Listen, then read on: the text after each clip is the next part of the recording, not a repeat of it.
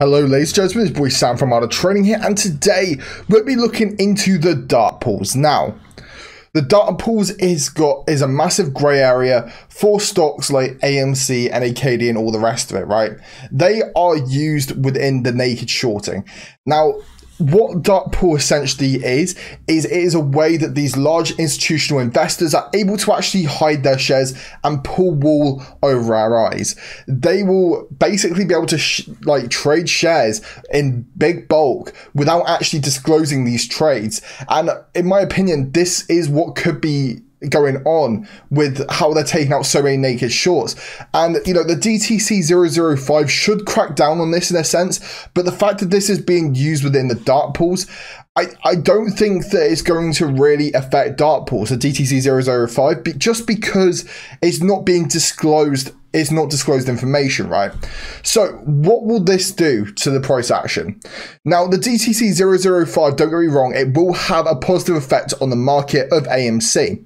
AMC will start reaching heights probably like within the next week or so when this DTC gets properly enforced. Now, although it said it was being implemented effective immediately last week, it still doesn't seem to be taken into effect. You know, we still see the naked shorts happening. So once this rule really gets embedded within the market structure, I do believe that this will probably see a nice amount of movement within AMC. Now, looking at the so basically let's have a, let's have a quick look at the the actual dark pool and what it actually involves, right? So the primary advantage of dark pool trading is that institutional investors making large trades can do do so without exposure while finding buyers and sellers. So th- these are these are buyers and sellers that actually have access to the dark pools, which, as we all know, is very limited. Us retail investors, we don't have access to dark pools. Yet, you know, Hedgie over here is able to trade in these dark pools you know, like they're allowed to do whatever they want in them. And the, the problem is there's no actual disclosure they don't disclose what's actually going on in these dark pools. So that puts a very, very bold question mark to us retail investors about what's actually going on in the market because there's not full transparency and we don't have access to the information which these large institutions currently do. So this prevents heavy price devaluation, which would occur um, if it were public knowledge, for example, that an investment bank was trying to sell 500,000 of a security, the security would almost certainly have decreased in value by the time the bank found buyers for all, all of their shares.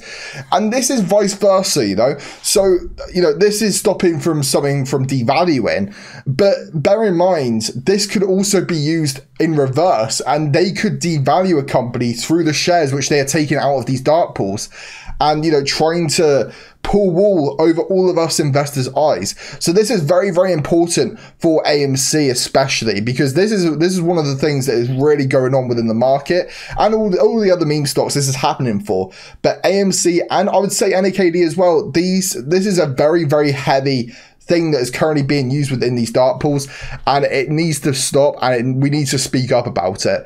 And you know if we could crack down on these dark pools and find a way to really make difference to really band together to come together to stop these dark pools we would see astronomical heights with AMC right? We really would. Like, it'd be without question, AMC would squeeze without these dark pools in place because this is how this is how the hedge funders are currently still short in this stock, even with the DTC implemented. Because, in my opinion, the DTCC, I think they have done it sort of as a smoke and mirrors play. I don't think they're actually going to enforce it properly. I want them to, and I want to believe they will. But at the end of the day, will they actually?